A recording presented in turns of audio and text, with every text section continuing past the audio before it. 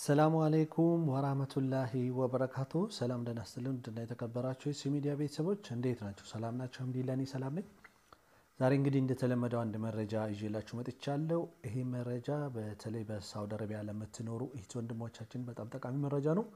እንግዲህ ዛሬ የሳውዲ መንግስት ባስታወቀው መሰረት በፊቱ ሌላ ከተከለከሉት ሀገራቶች ሌላ ዛሬ አዲስ 12 ሀገራቶች ወደ ሳውዲ እንዳይገቡና እንዳይወጡ ክልከላ ልትጥል ነው።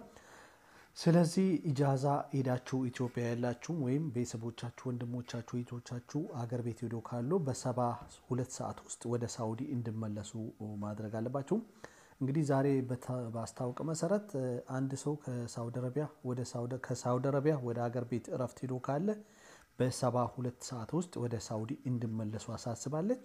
ከዛ በኋላ ማንም ሰው መግባትም መውጣትም ይከለከላሉ ማለት ለምሳሌ አሁን ኢትዮጵያ፣ ጅቡቲ፣ ኬንያ፣ ፊሊፒንስ የተለያዩ ሀገራቶች ዛሬ 12 ሀገራቶች ላይ እገዳ ልትጥል ነው። ከዛ ውስጥ ኢትዮጵያ ይገኝበታል ማለት ነው። ስለዚህ አገር ቤት ሄዳችሁ ያላችሁ በፍጥነት በሰባ ሁለት ሰዓት ውስጥ ወደ ሳውዲ አረቢያ እንድትመለሱ ይላል። እንግዲህ ትኬት ቆርጣችሁ ለአንድ ወር ለሁለት ወር ወይም ለሶስት ወር ትኬት ቆርጣችሁ ለእረፍት ሄዳችሁ እህት ወንድሞቼ ትኬታችሁን ማስተካከል ይቻላል። ይሄ መረጃ እንግዲህ ብዙውን ጊዜ ኢትዮጵያም ላይደርስ ይችላል። ከዚህ አገር ቤት ለሄዱት ወንድሞቻችሁ፣ ዘመዶቻችሁ ወይም ጓደኞቻችሁ በመደወል መናገር አለባቸው ማለት ነው። ከስራ ገበታቸው እንዳይስተጓገሉ ማለት ነው። ሳውዲ አረቢያ እንግዲህ እንደሚታወቀው የኮሮና ቫይረስ ፍጥነት በዓለም ላይ የተስፋፋ ስለሚገኝ ዜጎቿን ደህንነት ለመጠበቅ ብላ አዲስ 12 ሀገራት ላይ እገዳ ልትጥል ማለት ነው። ስለዚህ ሌላው ማሳሰቢያ እንግዲህ ሳውዲ አረቢያ መውጣትም ሆነ መግባት ስለምትከለክል እረፍት እንግዲህ ሳውዲ አረቢያ ብቻም ሳይሆን በዓለም ላይ ለምትገኙ ወንድሞቼ ወደ ኢትዮጵያ ለእረፍት ለመሄድ ብላችሁ የተዘጋጃችሁ ትኬት የቆረጣችሁ ሁሉ ሀሳባቸውን ብትሰርዙ ጥሩ ነው። ለምን ለእረፍት የምትሄዱ ከሆነ መጨረሻ የምትገቡ ከሆነ ችግር የለውም።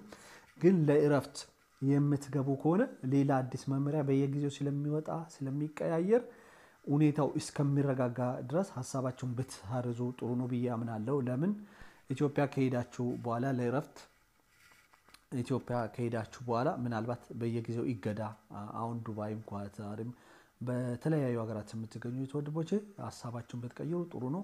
ሁለተኛ ደግሞ ለደህንነታችሁ ራሱ በአየር ከ200 300 ሰው ጋር ተሳፍራችሁ ሀገር ቤት ስለምትገቡ በጣም አስቸጋሪ ነው በሽታ። ስለዚህ ባትሄዱ ይመረጣል። ለደህንነታችሁም ከስራ ገበታችሁም እንዳትፈናቀሉ ማለት ነው። ስለዚህ ይህን መረጃ ላልሰማ ሰዎች እንድታሰሙ በአክብሮት ጠይቃችኋለሁ። ከአሁን ሰዓት ጀምሮ በሰባ ሁለት ሰዓት ውስጥ ከሳውዲ ወጣችሁ ኢትዮጵያ ያላችሁ የት ወንድሞቼ በፍጥነት መመለስ አለባችሁ። ከዛ ውጭ እገዳ ይጣላል። መግባትም ሆነ መሄድ ይከለከላል። ሌላኛው ለሀጅ ለኡሙራ ለዝያራ ምናምን process የጨረሳችሁ እህት ወንድሞቼ ካላችሁ ወደ ሳውዲ ቤተሰቦቻችሁን ማምጣት ያሰባችሁ process ላይ ያላችሁ ትኬት ለመቁረጥ ያሰባችሁ ጨርሳችሁ ከሆነ ትኬት በሰባ ሁለት በሶስት ቀን በፊት ከሶስት ቀን በፊት ወደ ሳውዲ እንዲገቡ አድርጉ።